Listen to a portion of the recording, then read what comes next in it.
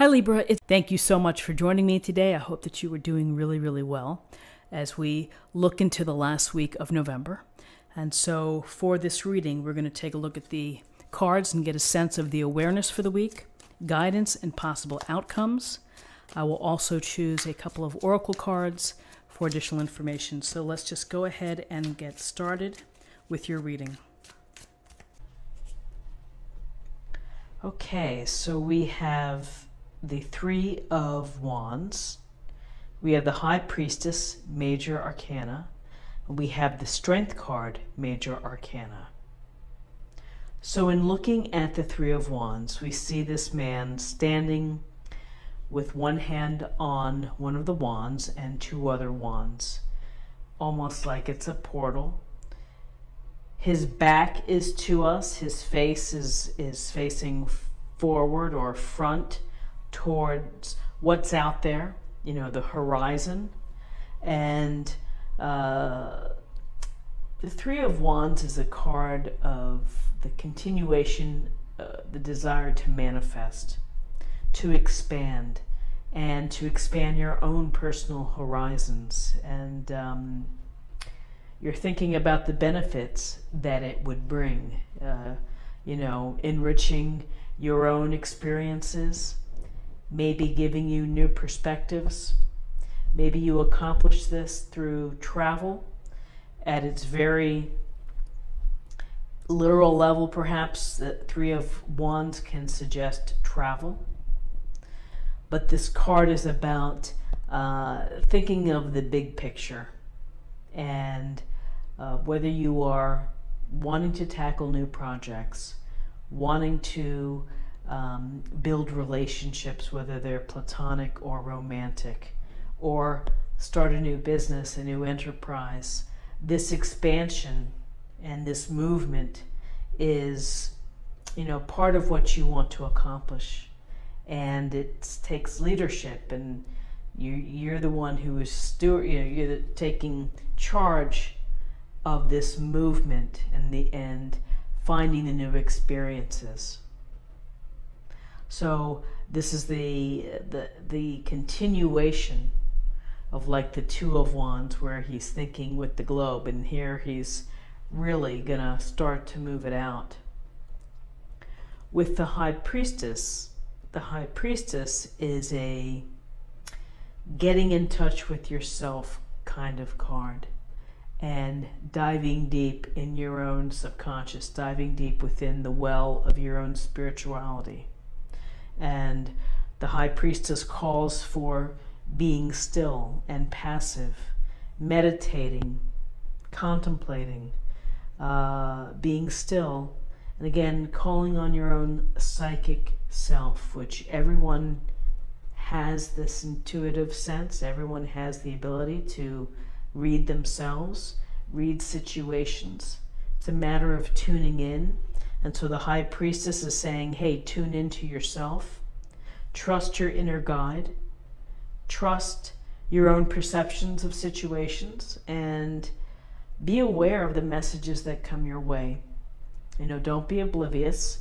And things that may seem innocuous at first, they may come back and come back to you to say, hey, that might have been important here. Maybe, you know, passing a street sign or something that has some type of significance, maybe that's telling you something. So just be open to receiving messages. But really, with the high priestess, it's about trusting your own instinct, your hunches, your dreams, and, uh, you know, what your mind is telling you. What you think often becomes reality and with the high priestess, you know, connect with your inner self, connect with your guides. And um, there's often a secretive aspect to the high priestess. So if you are, if someone's told something to you in confidence, keep it, you know, keep it close to heart. Maybe there are some things you're not ready to reveal and you're just keeping them for yourself and that's that's totally fine you know, just go ahead and do that because we all have these hidden talents, we have hidden abilities, and we know best when to bring them out. And then finally, we have the strength card. And in the strength card, we see the person here who is almost touching the line but isn't in this illustration the red lion. And so uh, this often is the connection between this wild animal and this human. And the human theoretically has wisdom, and the animal relies on its animal instincts and its base instinct.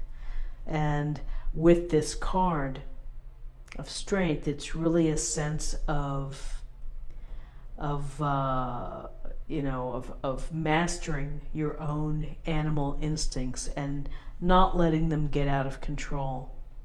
This figure here has control over the line, soft control. But I think that the human figure values the power and the, the ferocious nature of the lion, but is doing, uh, is able to get near the lion with calmness and um, its own sense, uh, it's their own sense of self and their own sense of courage.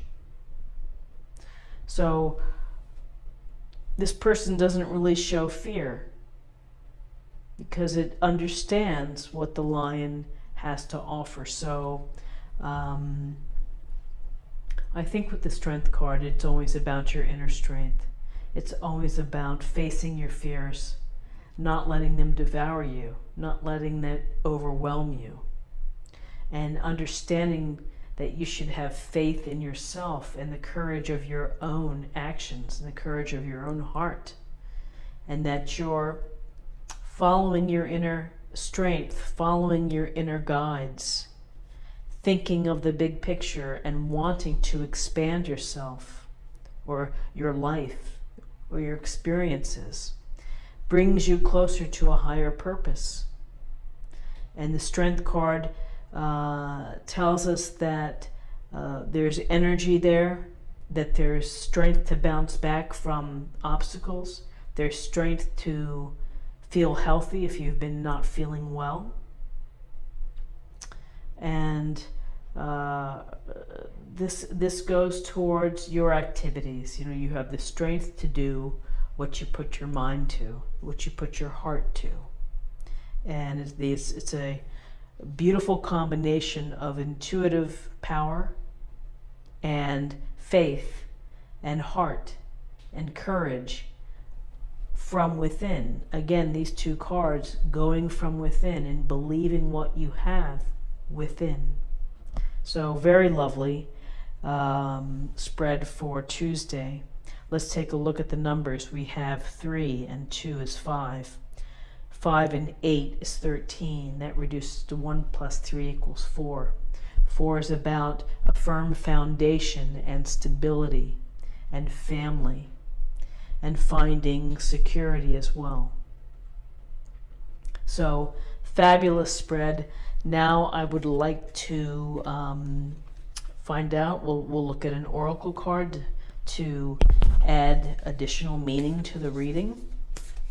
This is the Whispers of Love Oracle by Angela, I think it's Hartfield. Okay. Forgiveness. Nothing can be gained by holding on to past disappointments. So, I feel like this card has been coming up a lot, or the concept and the idea of forgiveness. And in order to heal, and in order to expand and to move forward, one needs to forgive.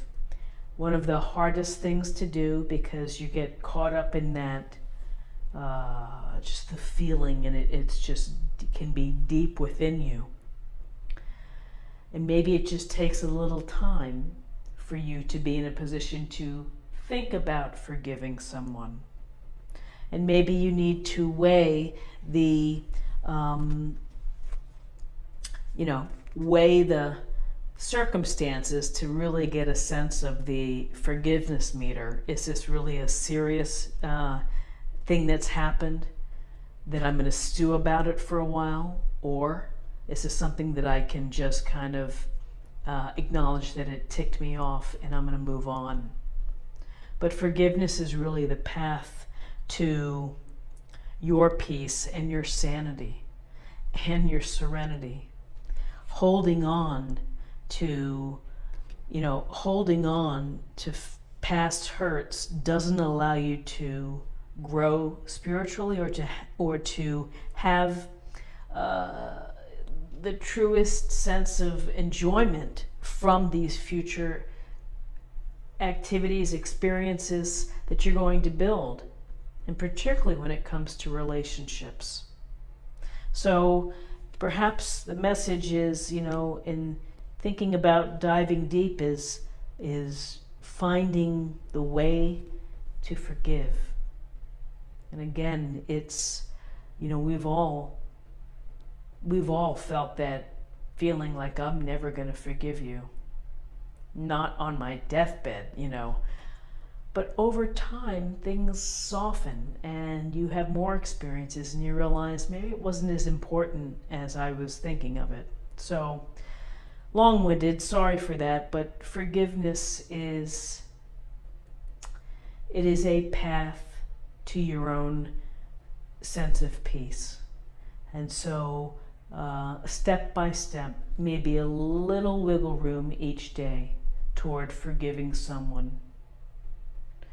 Worry about yourself, take care of your own inner path, your own instincts, believe in the strength that you have within your life uh, and to overcome the hurts. So, a wonderful reading for Tuesday. I wish you the very best on Tuesday. Let me know how your day goes. If you enjoyed this reading, please like, share, or comment. If you're new to the channel, please consider subscribing. It's a great way to show support, to stay connected. And uh, I hope you'll come back again tomorrow for another daily tarot reading. Thank you so much. Bye bye.